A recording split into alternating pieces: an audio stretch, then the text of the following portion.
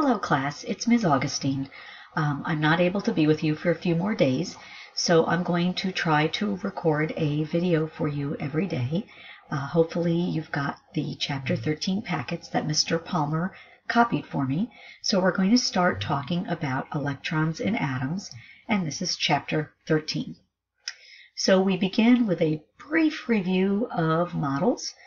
Uh, you'll recall that we talked about Democritus first, who was the first person to mention atoms existed, and that was in the 4th century BC.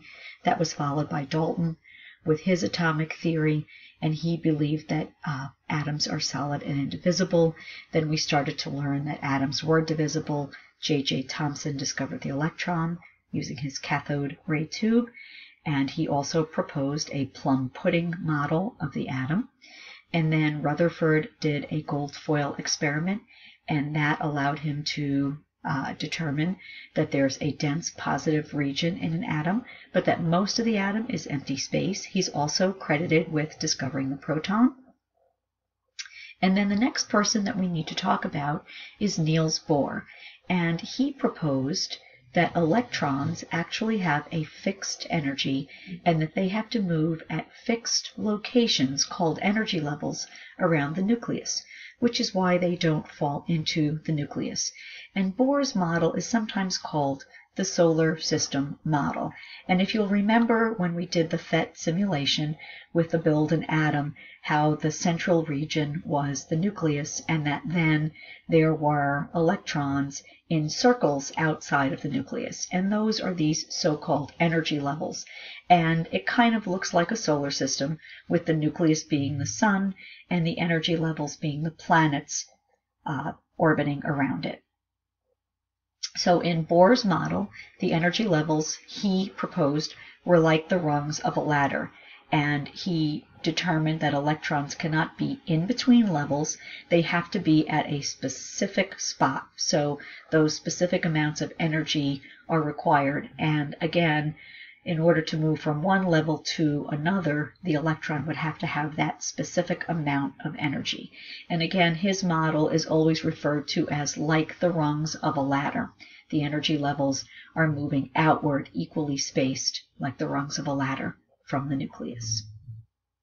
So now we're ready in chapter 13.1 after our brief trip down memory lane to talk about our current model of the atom, which is known as the quantum mechanical model. So our current model, the first thing to know is that it is the new and current model of the atom. And again, it's referred to as the quantum mechanical model. And it is very similar to Bohr's model with some key exceptions. The first thing to note is that the energy levels are not equally spaced like a ladder. And in fact, the farther away from the nucleus that you get, the closer together the energy levels are. And the higher the energy of the electron, the easier it is to leave the atom. So as you're moving outward from the nucleus, the energy levels get higher in energy and they get closer together. It's also important to note that there is no exact path that an electron takes. Instead, in the quantum mechanical model, we talk about areas of high probability of finding an electron and areas with a low probability of finding an electron. So we don't know its exact location because you'll recall it has a mass of zero and it's moving pretty darn fast. So we talk about areas of high probability and low probability of finding an electron in space. So the way we depict an electron is the probability of finding it, and we represent it by something called a fuzzy cloud. And that cloud shows you the area where it is about 90% likely to find an electron. So about 10% of the time, it could be outside of that cloud region. So these fuzzy cloud regions that we refer to are what we determined, what we call atomic orbitals. And the atomic orbitals are the locations where you're likely to find an electron outside of an atom's nucleus. And they go through a series of names and numbers, and those little addresses tell you exactly where the electron is in space. So the first way that we determine where an electron is is something called the principal or main energy levels. And those are assigned numbers according to their energy, and they are integers, so they're numbered as integers, and n is used to depict the principal energy level, and they are integers 1, 2, 3, 4, and actually they go from 1 through 7, with 1 being the lowest energy. And it's important to note that the lowest energy, as I said previously, is the energy that uh, corresponds to being closest to the nucleus. So as the numbers increase, you're getting farther and farther from the nucleus. So each of the principal energy levels then has one or more sublevels.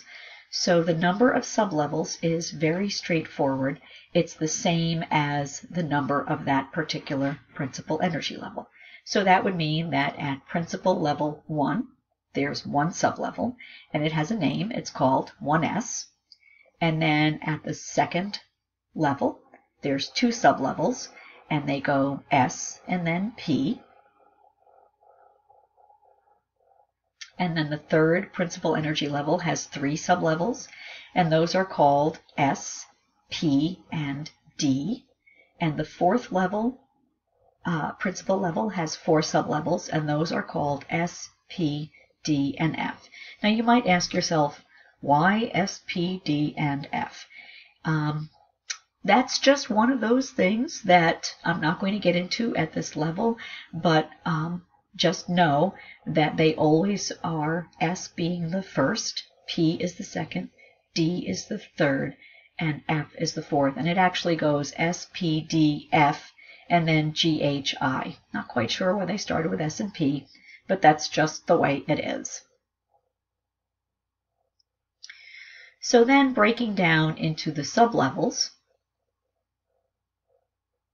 each S sublevel has only one orbital to it, and orbitals are kind of like the bedrooms where um, the electrons could take place. So you can talk in terms of an energy level has a specific number of sublevels, so those would be the bedrooms, and then with each sublevel, how many beds are in there. So each S sublevel has only one orbital, so it has one uh, place for the electrons to hang out. And that you can think of um, in terms of it having one bunk bed in it.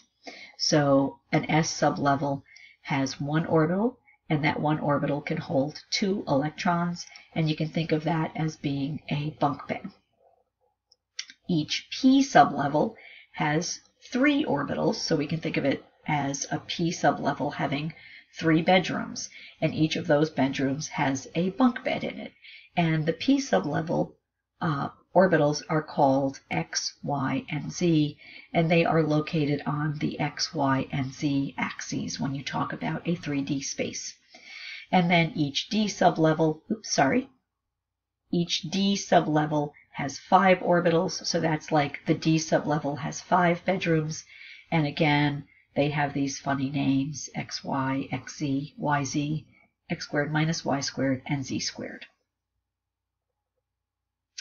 And finally, the F sublevel has seven orbitals, and I'm not even going to get into how complex those are.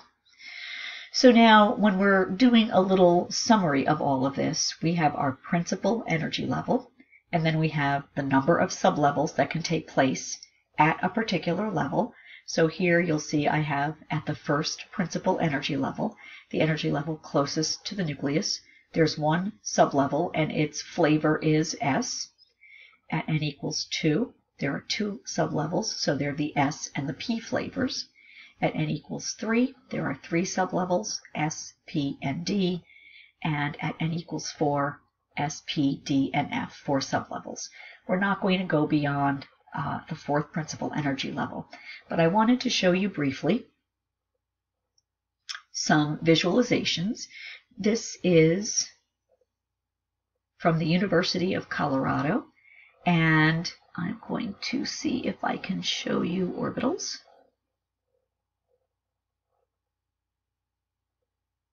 Will let, let me show you orbitals.